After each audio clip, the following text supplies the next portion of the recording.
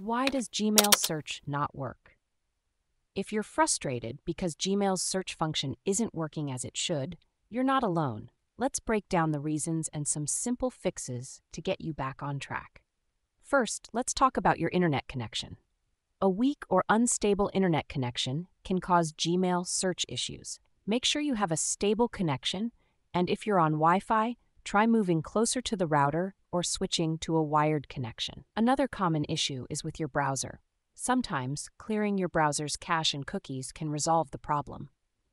Go to your browser settings, find the option to clear browsing data, and select the boxes for cookies and cached images and files. Also, ensure you're using the latest version of your browser.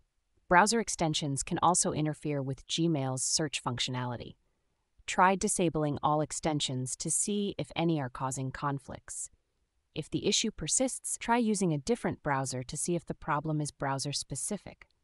Gmail's search algorithm itself can be a culprit. It may struggle with complex or nuanced search queries, leading to missed results. Using simpler search terms can help. For example, instead of using multiple search operators, try breaking down your search into simpler parts. Indexing delays can also affect search results. Gmail relies on indexing to facilitate fast searches, but delays in this process can result in no results being returned, even if the emails are present. Unfortunately, users can't manually trigger indexing or resolve these delays through standard troubleshooting. The Gmail mobile app can be less reliable than the desktop version, especially when it comes to search functionality. If you're experiencing issues on your mobile device, try switching to the desktop version to see if the problem persists.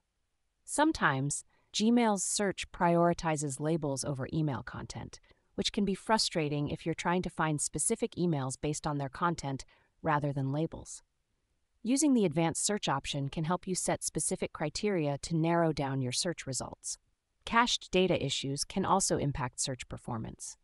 Clearing the cache in your browser or app may resolve some of these issues. Additionally, ensuring that your Gmail account is synced across all devices can help improve search functionality.